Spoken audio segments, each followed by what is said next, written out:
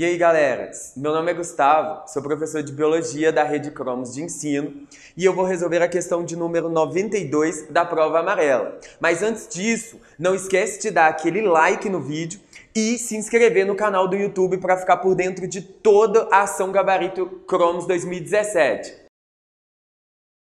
Galera, a questão 92, ela vai ser baseada nos sistemas de classificação biológica.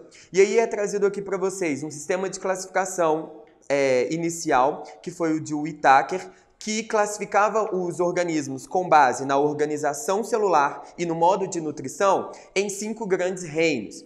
E posterior a descobertas filogenéticas, a descobertas moleculares e é, com base na codificação do RNA ribossômico, um novo pesquisador, o Weiser, propôs a, a classificação em três reinos.